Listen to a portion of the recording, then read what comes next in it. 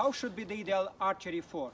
In my opinion, during the shooting phase, the archer should open symmetrically his arms on the target line, continuing this motion with a proper double release in the same direction. Ideal should be at loading to make the nocking, closing the hands exactly along the same trajectory like in the shooting phase.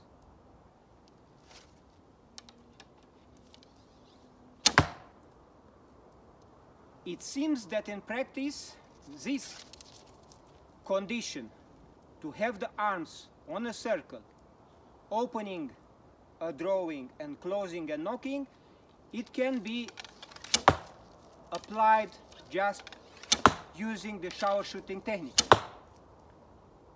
Opening the arms at shooting and closing when loading.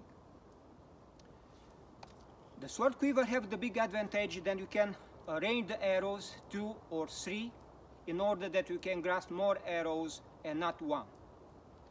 When you need to have a fast shooting and to use more arrows, it can be the possibility to use this quiver in a little bit different way. For example, putting the strap practically in the same position and put it on the back. The sword quiver it became the sword quiver became a back sword quiver